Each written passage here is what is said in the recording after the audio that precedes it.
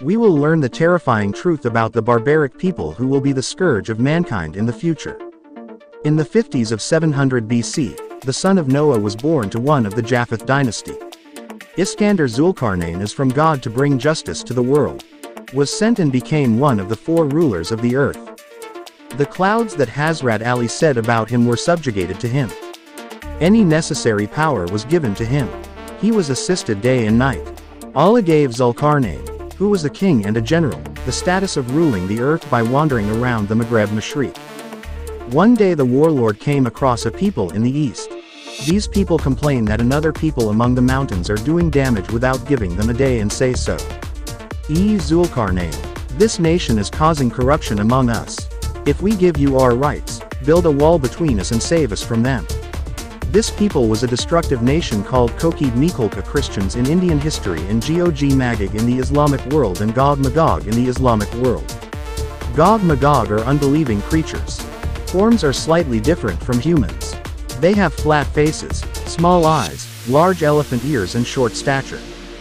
This is what Zulkarnain says to this nation that is asking for help. God's favor to me is better than your wealth. You better help me.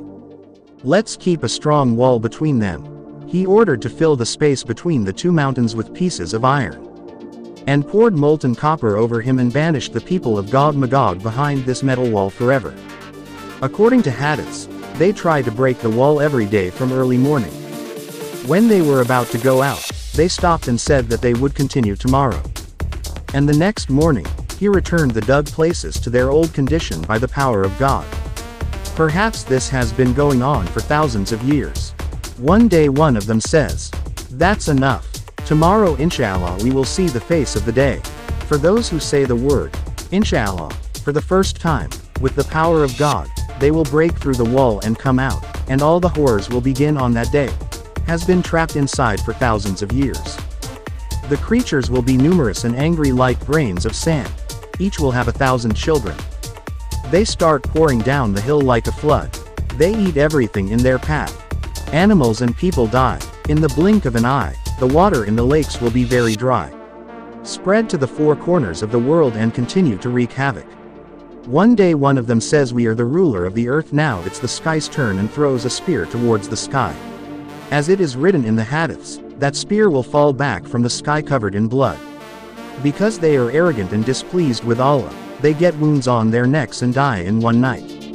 And all the earth will be full of their dead, covered with an unbreathable stench. The world will become hell like an open grave. The world you know now is gone. When and where all this happens is known only to the Creator Himself. Today, scientists have been researching for years to find the wall between these two mountains with different theories. Where is this place discussed in hadiths?